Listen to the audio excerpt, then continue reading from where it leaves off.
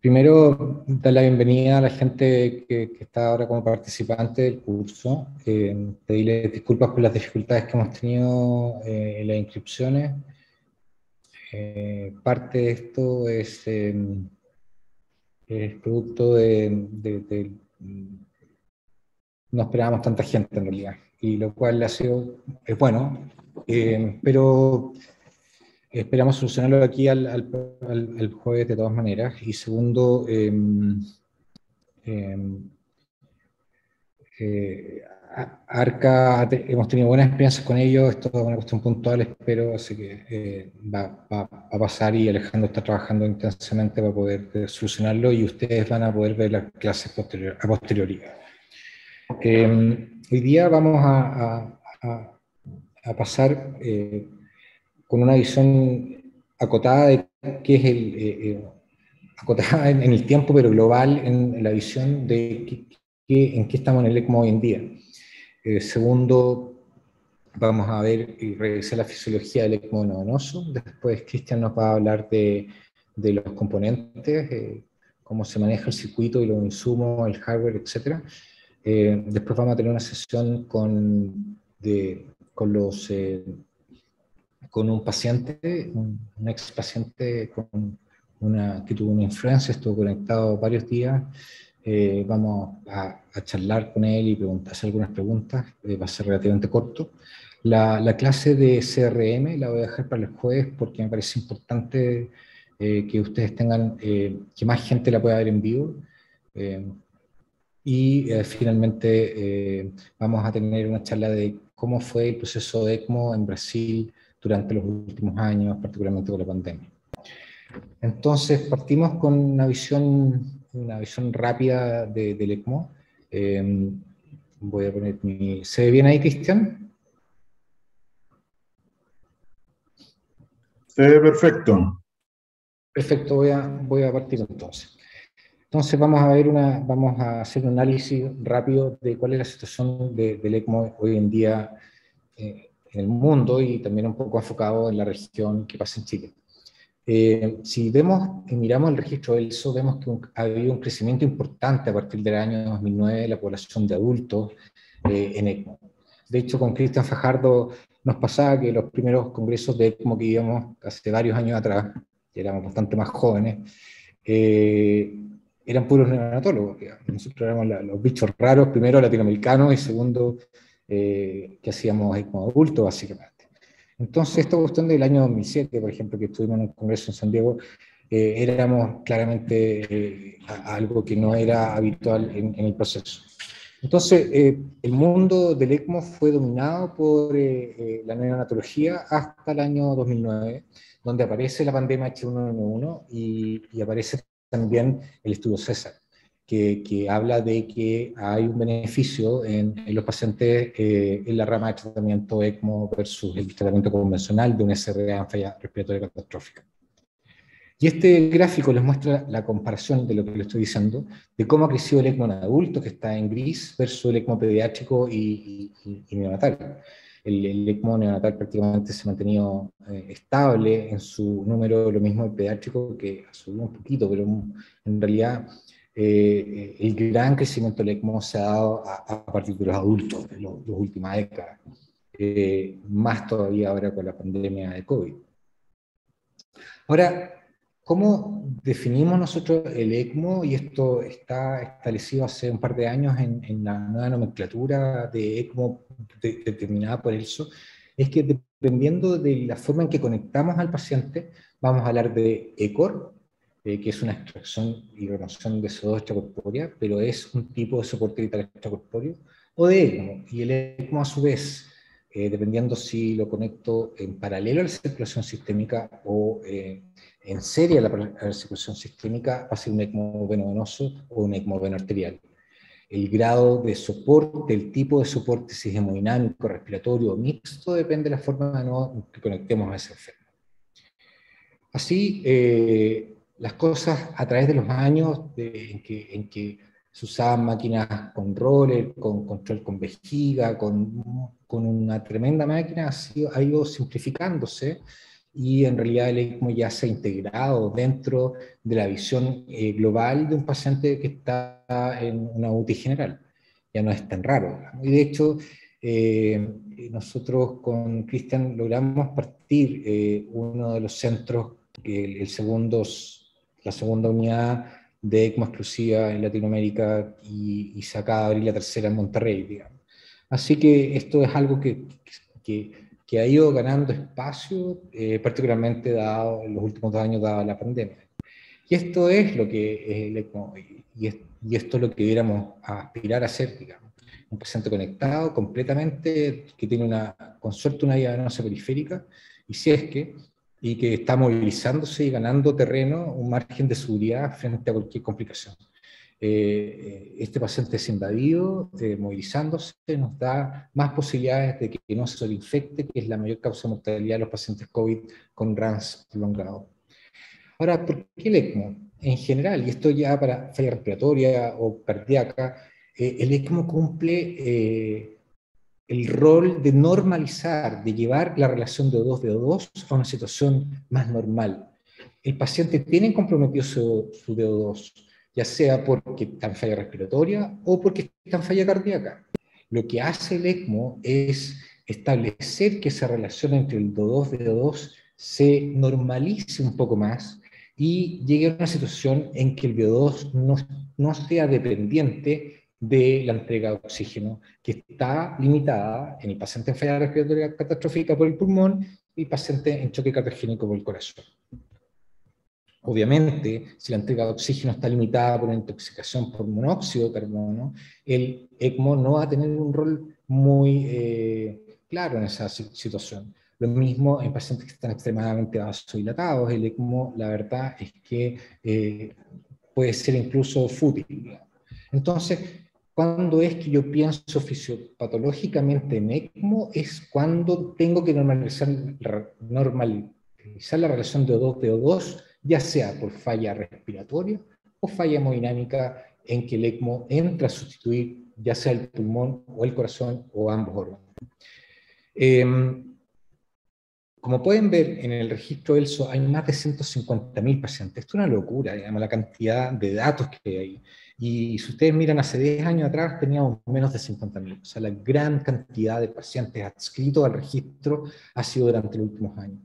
También es importante mencionar que, que cada centro que esté haciendo ECMO debiese reportar a, a ELSO. Esto permite hacer benchmarking, permite preguntarse, revisar sus propios números eh, hacer preguntas eh, con respecto a patologías específicas a la base de datos y así, por ejemplo, determinar si vamos a tomar o no vamos a tomar un paciente determinado con una patología extraña. Eh, eso lo hemos hecho, funciona muy bien. La verdad es que el acceder a la base de datos en tiempo real ayuda muchísimo a tomar determinaciones en pacientes que son ultra complejos. esto es un ejemplo de cómo cambió el pronóstico de una enfermedad X, en este caso el síndrome cardiopulmonar por antivirus, en un grupo de concepción, previo y post inicio de su programa ECMO. Esto es tremendo, digamos, la diferencia de mortalidad en el síndrome cardiopulmonar que viene en la tercera fila de 54 a 22,7% es un cambio excepcional, donde la única eh, variable entre eh, esta corte histórica, el pre-ECMO y el post-ECMO, es que ellos hicieron un curso, un entrenamiento y empezaron con su programa de ECMO una vez terminado el entrenamiento. Por lo tanto, no hubo una zona gris de esto, hubo un blanco y negro que nos permitió ver muy bien cuál era el efecto del ECMO sobre esta patología. Eh, estos son datos súper interesantes y que espero que, que, Concepción se anime a publicarlos porque realmente son eh, muy consistente. También el estudio Eolia, si comparamos los resultados de mortalidad, desgraciadamente no fue estadísticamente significativo, dado que perdió poder al, eh, muy explicado por el crossover de pacientes desde el grupo convencional del grupo ECMO. Un tercio de esos pacientes pasaron al grupo ECMO. Por lo tanto, más bien se trató de un, de un ensayo clínico que comparó ECMO precoz a ECMO tardío. Se critica bastante ese trabajo, pero esos datos sirven también para hacer, eh, unirlos a los datos del César y hacer un metaanálisis y ver eh, qué y, hay, más de un metaanálisis que muestra entre los datos combinados que la mortalidad es menor, desgraciadamente con bastante heterogeneidad de los datos, porque el grupo de Olia es distinto al grupo de César, eh, fundamentalmente en el transporte, en el tipo de pacientes un poco, pero ambos pacientes son eh, SRA con falla respiratoria catastrófica. Este eh, trabajo en un estudio norteamericano muestra en, un estudio con, con control, de sesgo de confusión de variables en un propensity score muestra que una población que fue puesta en ECMO, comparada con una población que no pudo acceder a ECMO, pero que tenía la misma gravedad y variables parecidas a ese grupo de ECMO, eh, la sobrevida es evidentemente mejor en el grupo de ECMO. Esto está corroborado por una publicación de esta misma semana en un grupo inglés en dos hospitales del sur de Inglaterra que son, concentraron gran parte de los casos de ese país y se ve también en un eh, match genético, así se llama, eh, es, muy parecido, trata de controlar las variables confundentes, eh, encuentra que los pacientes con patología, perdón, con COVID en determinado nivel de gravedad, con un matching en un paciente con tratamiento convencional que no pudo acceder a ECMO, la sobrevida es eh, es casi un 18% menor del, número bruto. O sea, el load ratio es entre 0.44 y 0.56, dependiendo del análisis que se haga.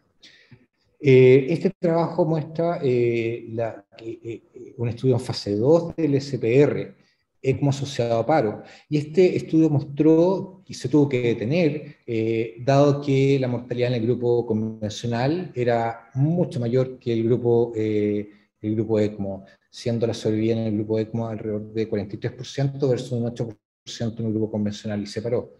Desgraciadamente el estudio de, de, Holavec, que el estudio de Praga, eh, no confirma estos datos. Eh, ellos no encontraron una diferencia significativa, en un trabajo publicado recientemente en el JAMA, eh, pero también ellos creen y posturan que esa diferencia no fue significativa dado el, bajo N que, lo, que se logró en el estudio y le faltó poder eh, para poder encontrar esa diferencia, pero que aún así era del 11%.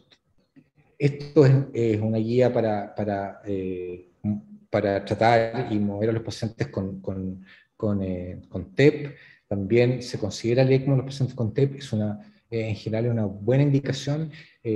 lo restringimos para algunos casos y vamos a tener una clase específica de eso. Lo mismo para shock séptico, hay eh, extrañamente los pacientes que tienen disfunción miocárdica, es decir, que tienen falla de bomba, son los que más se benefician del ECMO. Al contrario, los pacientes que están en shock profundo, eh, puramente por vasodilatación, eh, se ha visto que el resultado del ECMO es bastante pobre. Entonces se, se ve una, una, una, una paradoja en que los pacientes, entre comillas, sin disfunción miocárdica se mueren mucho más si los conecto a ECMO versus los pacientes con disfunción miocárdica. Eh, por otro lado, este protocolo que utilizamos de, de, conexión de los pacientes en choque cardiogénico, en, general es el paciente que está mal perfundido a pesar de tener dos drogas activándose moderadas. Esa es la indicación de soporte, ya sea ECMO, Impela, lo que uno tenga a mano, digamos, y eso también lo vamos a analizar en su respectivo eh, proceso. Pero es súper importante entender que el ECMO tiene una ventana de tiempo. Si llegamos tarde, eh, ya no hay nada que hacer, digamos. El paciente ya entra en disfunción multiorgánica y en falla multiórgano y en el mejor ECMO del mundo lo va a poder rescatar.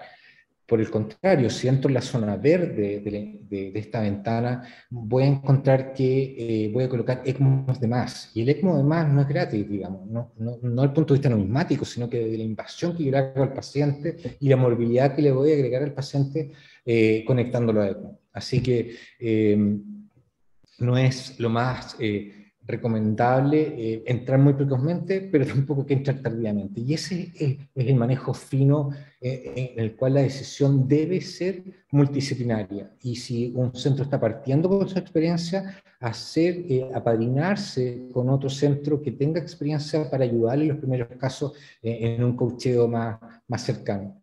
estas son las indicaciones respiratorias. Básicamente, en la actualidad se usan los criterios de OLIA, que se usó en el trabajo de randomización de Leolia, y la verdad es que es muy fácil de, de utilizar pero si uno analiza una u otra indicación, la verdad es que no hay grandes diferencias. Son pacientes con malas compliance que han llegado a un compromiso importante de su oxigenación o intercambio CO2, pero básicamente en pacientes que ya son inventilables sin eh, aumentar la injuria por la ventilación mecánica.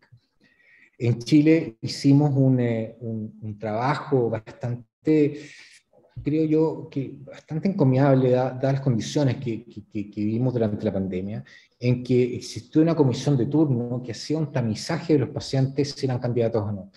Eh, el ECMO era un recurso limitado, teníamos 31 camas disponibles que iban en un más o menos dos camas, digamos, dependiendo de la cantidad de, de recursos personal que tuviésemos en los distintos hospitales. Pero las camas privadas y públicas se integraron en una sola red y eh, la comisión analizaba caso a caso, 24-7, para determinar si el paciente era candidato de o no.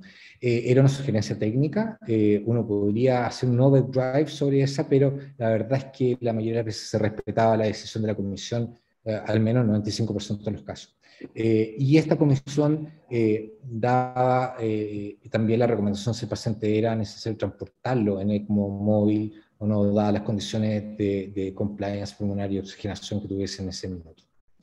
Lo que les quiero mostrar las siguientes fotos son eh, ejemplos de escenarios clínicos donde vamos a utilizar el ECMO. Eh, uno es la falla respiratoria eh, pediátrica, que es bastante, se mueve bastante bien. La principal indicación de esto es la falla respiratoria secundaria de infecciones virales, y ahí la principal es el BRS, por lo menos en nuestro país. y las sobrevidas son sobre el 70%, así que es un, es un nicho de indicación bastante bueno eh, en pacientes que uno supone que van a morir sobre un 80%. Por lo tanto, tenemos un 70% de solidaridad bastante bueno. En el grupo neonatal, que fue el que originalmente eh, adquirió la técnica y la, y la, y la popularizó desde, desde, el grupo neonatal, donde existió el primer estudio randomizado que mostraba que el efecto del ECMO era evidentemente positivo, eh, ha sido eh, desarrollada en distintas partes de Latinoamérica, pero con mayor fuerza la Universidad Católica, acá en Santiago, eh, tiene una experiencia tremenda a partir de un poquito pasado el año 2002, si no me equivoco, y, y, siguen siendo el centro de referencia eh, nacional para falla respiratoria neonataria. Es muy difícil que alguno de los otros centros podamos competir con ellos en ese punto, digamos. Ah, si bien algunos hemos hecho eh, natal, la verdad es que los resultados son bastante pobres comparados con lo que tiene la católica hoy en día, que además tiene un programa que está muy bien eh, desarrollado, pero también ejecutado. Y, la verdad es que ha sido sorprendente eh, el trabajo que ha hecho el grupo de Javier Catán, y, justamente a él a quien le pedí que nos hiciera una visión también de la, ECMO neonatal en, en las clases ulteriores. La falla respiratoria de adultos, nosotros como centro, en, el, ex centro donde trabajaba, hicimos un, eh, eh, la primera experiencia importante de, con adultos, creo yo, eh, en falla respiratoria, y aprendimos rápidamente de que los pacientes requerían de ventilación mecánica ultraprotectora, es decir, ya no era 6,5 por kilo, era bastante menos, y, parte también del proceso de la facilitación de que el paciente saliera vivo era poder despertarlo y hacer un entrenamiento kinésico intensivo. Este es un paciente con un ERLIC severo de un bronco principal derecho, conectado vigil a ECMO. Eh, participamos tangencialmente, eh, esto es de otro centro en Santiago, y este paciente anduvo extraordinariamente bien gracias a que eh, fue posible mantenerlo sin ventilación a presión positiva. Esta es una paciente que fue un puente de recuperación, una paciente que se le cerró la sella con hipertensión pulmonar de base, eh, está muy, muy hipoxémica y eh, con vasodilatadores pulmonares finalmente pudo pasar de, de, de ECMO vena arterial central a un Novalung desde arteria pulmonar a aurícula izquierda y finalmente nos dimos cuenta que las presiones de arteria pulmonar bajaron y la paciente estaba viva. Este es un paciente con hipertensión pulmonar primaria, postcapilar, que eh, era candidato a trasplante y en esa candidatura llegó a capacidad funcional 4 lo hospitalizamos en esas características y lo conectamos a ECMO. Primero eh, intentamos un veno venoso, con apertura del FOP, después pasamos a ECMO vea central, eh, etcétera, pero nos quedamos con ECMO vea central prácticamente, con dos meses y medio de soporte. Dos meses y medio que se aprovecharon en qué? En que el paciente se movilizara, en que aumentara su masa muscular, aumentó 7 kilos de peso de masa muscular y que eh, se conectara con el medio. Eso, eso cambió radicalmente la situación de Cristóbal eh, frente a su trasplante. Estas fotos están autorizadas por él y su familia. Eh, Cristóbal ya lleva 6 años post trasplante y está mucho más grande de lo que lo ven ahí. La, la, verdad es que ahora ya llega a dar miedo verlo porque mide como 2 metros. Pero de nuevo, eh, lo que se hace durante un puente trasplante a, trasplante pulmonar en ECMO es aprovechar ese tiempo para mejorar el estado nutricional y el estado muscular del paciente. Esta otra paciente que, que extrañamente eh, hizo un SRA secundario a fármaco y, y, nunca salió de su fibrosis pulmonar. Eh, por lo tanto, a los cuatro meses de soporte la, la, trasplantamos. Y esa es la paciente dos años después. Eh, este es un paciente que hizo un paro en la unidad coronaria eh, con una insuficiencia cardíaca terminal por cardiopatía coronaria. Eh, se conectó a ECMO vea periférico, después se pasó a ECMO vea central y estuvo tres meses en ECMO vea central hasta que finalmente se decidió pasar a un, a un, puente intermedio que era un hardware en esa época. Y obviamente de Murphy le pusimos el hardware y la semana apareció el corazón, lo cual al final fue bueno y terminamos trasplantando y ese paciente está vivo. Eh, y, el ECMO asociado al paro. Esto es un tremendo cambio de paradigma. El, paciente que tiene un paro refractario, eh, ojalá la subpoblación de pacientes NFB, TB o actividad sin pulso, en que ha pasado más de 15 minutos en paro, eh, ya podría ser un candidato a, a, ECMO. ¿Y qué nos permite el ECMO? nos permite mantener la, la perfusión de órganos terminales hasta que yo abro el vaso culpable y, le doy un tiempo de recuperación a ese miocardio dentado. Este paciente que llegó en esa ambulancia eh, fue canulado en urgencia, lo pasamos a hemodinamia, como lo ven ahí, y ese mismo paciente una semana después. Es imposible que esos pacientes tengan una evolución así, de esas características, sin el soporte. Eh, otro, otra indicación, el ECMO móvil que en general es más tranquilo de lo que ustedes están viendo ahí. Esto es una paciente de un año y medio con endocarditis de la válvula mitral que no estaba diagnosticada, la diagnosticamos nosotros cuando llegamos al centro de referente, eh, está severo eh, y nos encontramos con la vegetación de la válvula mitral. Así que lo que hicimos fue conectarla a ECMO y llevarla a nuestro centro y operarla posteriormente de su, de su válvula mitral. Esta niñita ya tiene 7 años y está en perfectas condiciones. Eh, de nuevo, eh, creemos que eh, el desarrollo del ECMO móvil fue fundamental para empujar a otros centros a hacerlo a nivel nacional y también el desarrollo del ECMO delivery, es decir, buscar un paciente en hospital A y dejarlo en hospital C, fue algo que se nos ocurrió en pandemia y que afortunadamente eh, la LID también la tomó la Universidad Católica y por lo tanto compartimos con más de un centro esto, Concepción también ha hecho algunos casos y Antofagasta está funcionando con un programa de ECMO móvil que tiene resultados bastante interesantes, digamos. Por lo tanto, eh, esto generó movimientos y yo espero luego que el San Juan de Dios sea eh, un centro que haga ECMO delivery a, nivel nacional y pueda también eh, entrar a colaborar en esta red de, de, ECMO que ha sido bastante integrada durante el proceso de pandemia. Este eh, es un paciente en choque cardiogénico, no Cristóbal, que es el paciente con trasplante pulmonar, sino que esta señora que llegó a una CID por infarto eh, muy grave, con muy mala profundidad en choque franco, 60-30 de presión, y lo que hicimos fue conectarla a ECMO y, y operar su CID dos semanas y media después con los tejidos mucho menos fiables, la verdad es que se cerró eh, eh fácilmente la CID y se sacó el ECMO en, el mismo proceso. Esta es una paciente con una miocarditis eh, que se fue observando y la medida que fue elevando transaminasa y empezando dejando orinar un poquito, se puso en ECMO. Y estuvo en soporte dos, dos semanas y media. Salió con una FEBI de 27%, actualmente esta señora tiene una FEBI sobre el 55%. El otro ECMO es el ECMO electivo que puede ser el ECMO asociado a procedimientos de alto riesgo de la vía aérea, por ejemplo, un tumor de carina, o pacientes que tienen alto riesgo desde el punto de vista cardiovascular, es decir, pacientes que tienen eh, una anatomía coronaria de muy alto riesgo y por lo tanto los pongo en soporte, hago el procedimiento y después les saco el ECMO.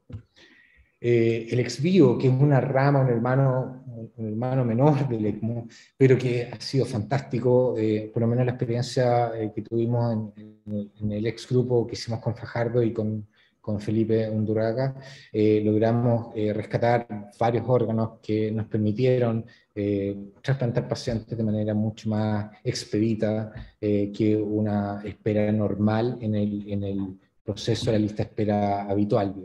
Nos permitió recuperar pulmones marginales y con muy, muy buenos resultados. Eh, y de nuevo, lo que hace esto es conectar eh, el injerto a un mini circuito ECMO con una solución eh, hipertónica que disminuye el edema. Y ojo, nosotros en Chile tenemos el problema de que muchos de los pulmones que, no, eh, que, que, son marginales o que son malos, digamos, definitivamente, es, muchos de ellos son por, por sobre eh, y aumento de bulimia eh, de manera exagerada. Entonces, cuando yo quiero pensar ECMO en mi país, ¿de qué depende? A nivel macro, depende del sistema de salud. Si el sistema de salud es privado, es público, es mixto, eh, depende del financiamiento que tengamos, de la organización y los recursos que tengamos. No es lo mismo hacer eh, ECMO en un país con bajos recursos eh, para salud que un, un, país que tiene altos recursos para salud. Desgraciadamente eso es así porque el ECMO de nuevo exige eh, movilizar un montón de cosas que son costosas. A nivel local es súper importante el apoyo institucional. Esto no se puede hacer un programa de ECMO sin que la, la la gerencia, la dirección médica, incluso todo el directorio, todos los stakeholders estén de acuerdo en hacer esto. Eh, también esto requiere formación del equipo, eh, formación eh, puntual y formación continua.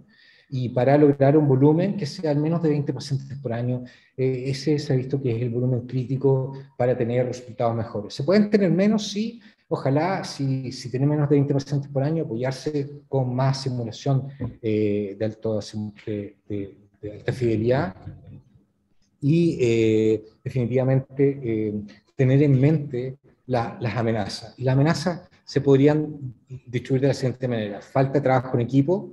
La falta de trabajo en equipo es uno de los problemas más severos en, cuando uno parte un programa ECMO y, y en mantenerlo funcionando bien las complicaciones que son, están asociadas a mayores costos y a mayor mortalidad, por supuesto.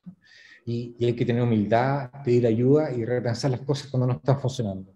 Si mis pacientes se están muriendo en una población determinada, que yo sé que se debe morir un 30, 40%, pero tengo una mortalidad del 80%, hay algo que estoy haciendo mal. Y, está bien, hay que hacer ese análisis, hay que parar, mirar hacia atrás y ver cómo están los números. Y cuando identifico zonas donde estoy teniendo problemas, tengo que tomar decisiones, o parar eh, ese grupo de soporte, eh, o mejorarlo de alguna manera y pedir ayuda.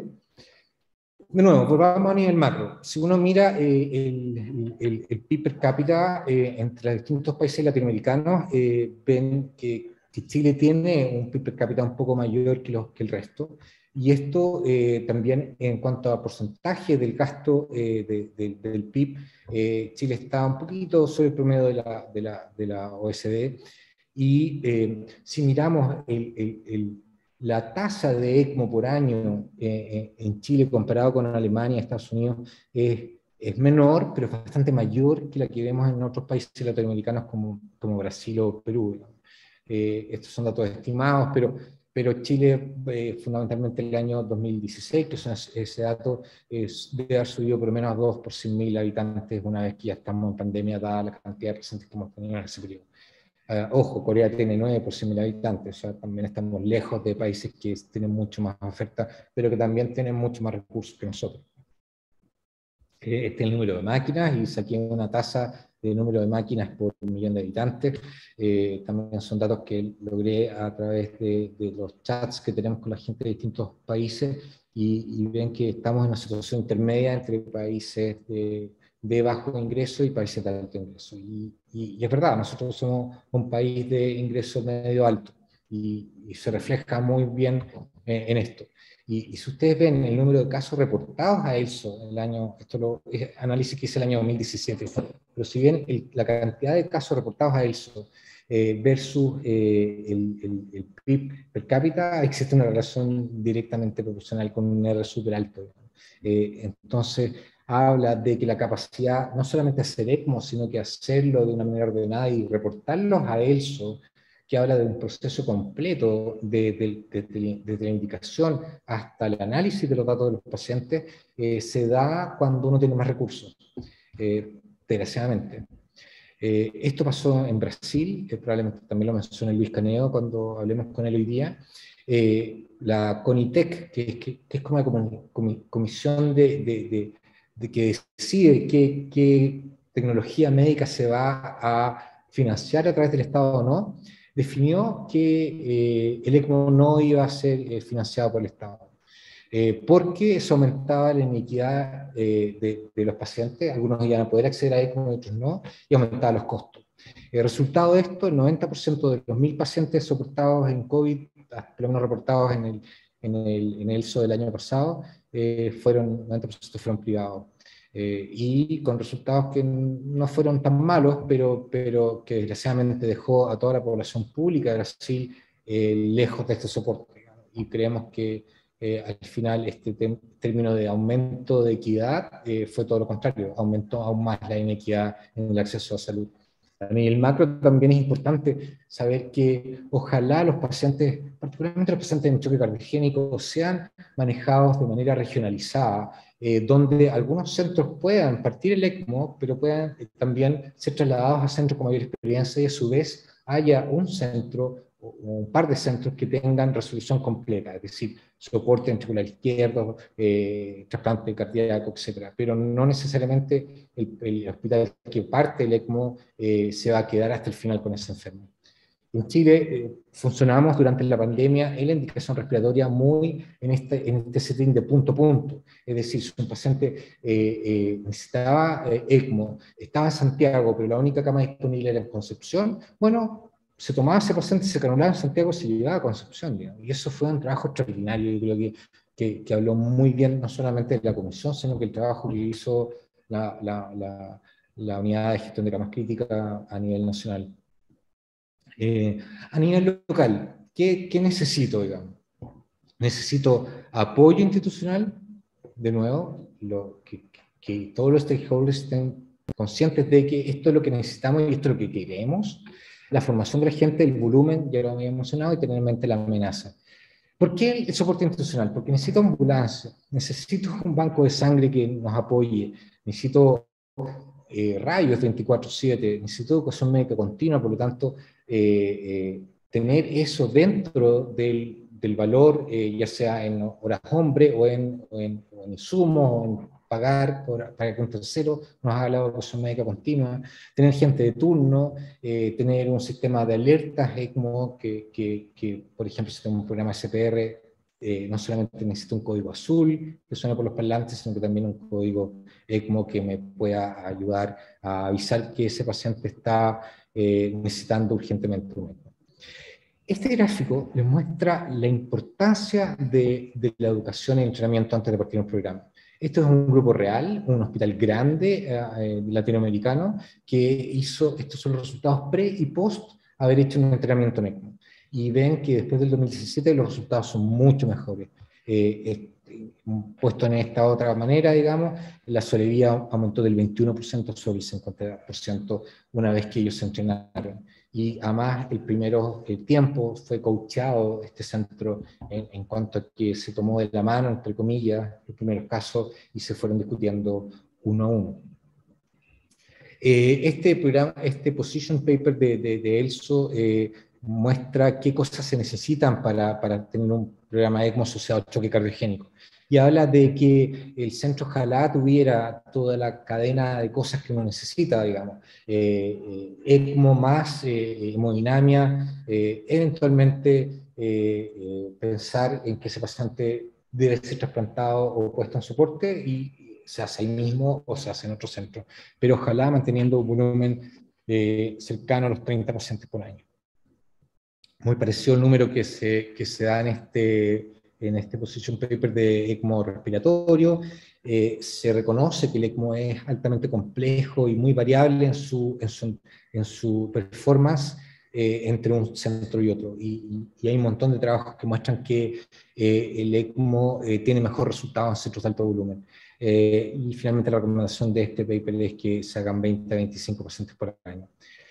Este es un trabajo del grupo de París, no solamente la PITE, sino que varios centros, y compararon la sobrevida por ejemplo, si el paciente era móvil o no, no había ninguna diferencia.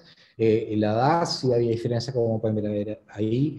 Eh, pero eh, claramente la experiencia previa en el año previo de los, del el volumen del año previo del hospital al hacer pacientes COVID era claramente distinto al resultado. Y esto habla de que, de nuevo, el ECMO respiratorio es un si bien es, entre comillas, un poco más simple que el ECMO cardiogénico, uno podría pensar que así tiene sus mañas propias que hay que conocer para tener buenos resultados.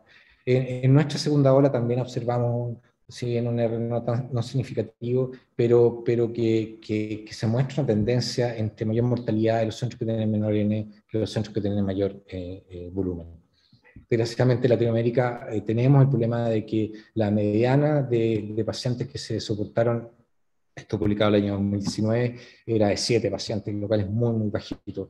Hace que eh, no necesariamente debamos cerrar centros, pero, pero sí que compartamos experiencias y que los centros que tienen muy bajito volumen, por lo menos eh, se apoyen en centros de mayor volumen para empezar el rodaje de, de su propia experiencia. Entonces, de nuevo, la amenaza, la falta de trabajo en equipo, las complicaciones y la, y la falta de humildad, pedir ayuda y repensar las cosas. Eh, las complicaciones son muchas, trombos en el oxinador, edema de membrana en el polipropileno, si que estoy usando eso, la, la isquemia de extremidades es, algo también extremadamente común y muy, muy mórbido. Eh, también eh, están viendo trombos en el cono, que, que, se comportan bien distinto a los trombos en el oxinador, aire masivo, falla de bomba, en este caso un paciente que está siendo transportado desde el pabellón hacia su unidad, eh, entra en falla de bomba, todo muy tranquilo, muy claro, porque se ensaya muchas veces en, simulación de alta fidelidad, que es lo que debemos hacer, y se mantiene una comunicación clara eh, en todo el equipo durante todo el momento. Sabemos que la presencia de complicaciones aumenta los, costos, pero también aumenta tremendamente la mortalidad.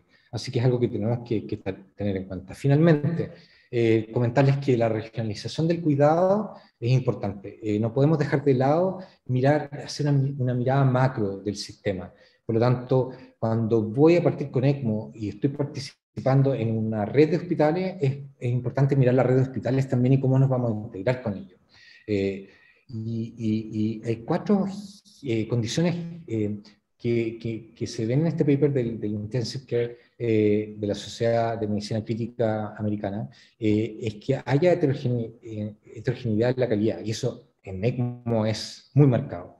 Que los recursos sean escasos, también que los centros de excelencia sean identificables, eso se ha hecho a través de la, la, la, certificación de centro de excelencia a través de ELSO, y que los pacientes también tengan una indicación clara e identificable para esto. Pero la heterogeneidad en el cuidado existe, de nuevo, los pacientes, los centros con alto volumen y alto, alto y bajo volumen y malos y buenos resultados existen, los recursos son escasos, particularmente en pandemia lo vivimos, eh, hay, hay centros que tienen sus procesos bien identificados y organizados y llevados a la, eh, esta certificación de centro de excelencia y los pacientes se han ido identificando con el tiempo cuáles se benefician realmente con ECMO no.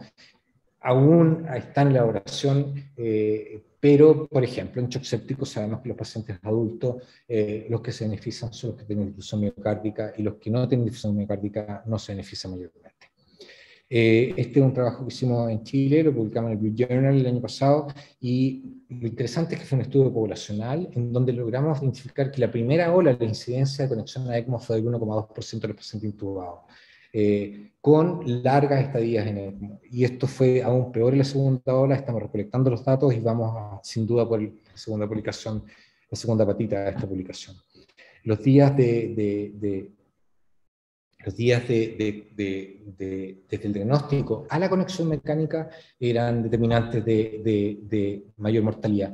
Ojo, no los días de conexión, no los días de ventilación mecánica, sino que los días en que el paciente ingresó hasta que fue conectado a ventilación mecánica. Eh, eso habla de que, y, cada vez hay más trabajos que hablan de eso también, que probablemente los, los, días de, ventilación no invasiva son más bien dañinos que, que, que nada en estos pacientes. Esto fueron eh, la comparación, el N es muy pequeño, pero también se ve en el trabajo del grupo de Jordi Riera de Valdebrón, en que no hay una correlación entre los días de ventilación mecánica y la mortalidad. En el grupo francés sí existe esa correlación. No tengo muy claro por qué en un grupo eh, sí, en un grupo, en otro, en otra serie publicada se ve esta correlación. Pero, pero por lo menos es controversial de que los días de ventilación mecánica sean tan importantes finalmente en, el, en la mortalidad de los pacientes. Estas fueron las complicaciones, la mayoría son la, mayor cantidad de complicaciones son complicaciones infecciosas.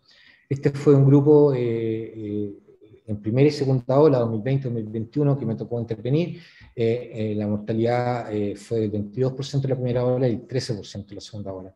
Bastante buena, pacientes que no eran muy seleccionados, y, pero que sí luchábamos intensamente en desinvadirlos precozmente. De estos 68 pacientes, 10 pacientes tuvieron un RAN mayor a, dos meses.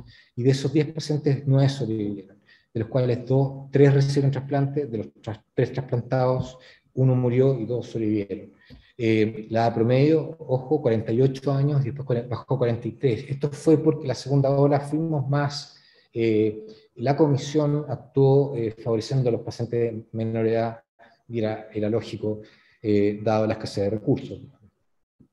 En resumen, hacer ECMO sí, pero no.